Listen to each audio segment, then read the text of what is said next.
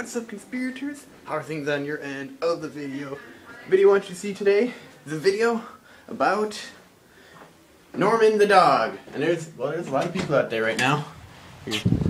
Hello, I'll hold the door open for everybody. Yep, it's on your left. Just in case, follow the voices, you'll be good. yeah, so the weather outside is beautiful today. As you can see, it's windy again. Freaking pain in the butt. Okay, well, it's been 92 like all day today. Today's Sunday. Uh, video is about Norman the dog. Before I forget, about Norman the dog riding a bike. How often do you see a dog riding a bike? It's pretty epic. So, link to that video is down below in the wrapper. Otherwise, you can click the red annotation tab says click to watch now to watch it. Be sure to let them know the conspirators drop by.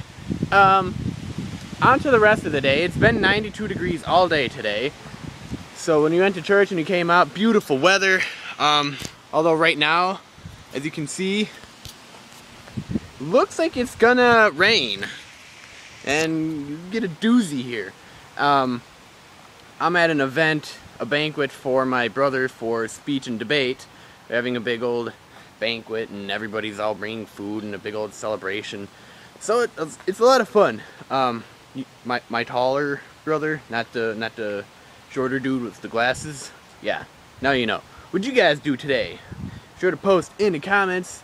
Um, yeah, um, it's pretty impressive. 23 feels no different than 22. I'm sure that's like everybody else a day after their birthday. Oh, nothing's changed. Feels the same. So, uh, what else did you want to talk about? You want to talk about the grass? Grass is really green. Grass is really green.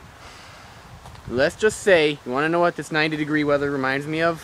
One thing, and that's where I spent one year of my life. Taiwan. This was normal weather.